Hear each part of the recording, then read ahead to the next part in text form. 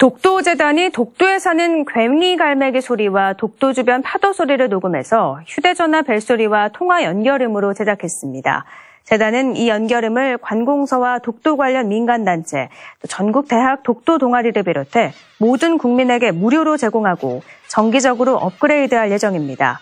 서비스 이용 희망자는 독도재단 웹사이트 공지사항에 접속하면 다운받을 수 있습니다.